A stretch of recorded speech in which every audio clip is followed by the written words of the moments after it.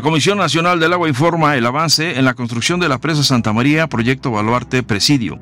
La presa tiene un avance físico de 38.2%. En el portal de entrada se han concluido las embocaduras de los tres túneles y se realiza la colocación de acero de refuerzo, cimbra, concreto hidráulico en la chimenea del túnel 3. Esta permitirá la entrada del agua embalsada hacia las obras de toma de generación de energía eléctrica y para la zona de riego.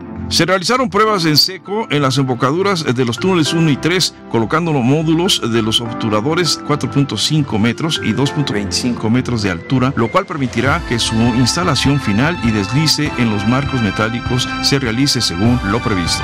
En el portal de salida se concluyó el bordo de protección de los túneles 2 y 3 y continúan los trabajos de excavación en canal de descarga. Se llevó a cabo uno de los hitos más importantes en el proceso constructivo de la presa Santa María, el desvío del cauce del río hacia el túnel 1. El desvío se inició con la ruptura del bordo de protección a la entrada de las embocaduras del túnel 1. Los escurrimientos y el agua embalsada se condujeron por toda la longitud del túnel 1 hasta el portal de salida. Este hito significa la culminación de la primera etapa en la construcción de la obra y permitirá continuar con la construcción de la altaguía aguas arriba como parte importante de las obras de desvío, así como iniciar en su oportunidad la construcción de la cortina. Dicha actividad se planeó para realizarse aprovechando la época de estiaje y hacer más eficiente los procedimientos constructivos de la presa. En la altaguía aguas arriba continúa la colocación y compactación de material de respaldo y la colocación de enrocamiento de protección, así como de acero de refuerzo y concreto en los brocales guía para el material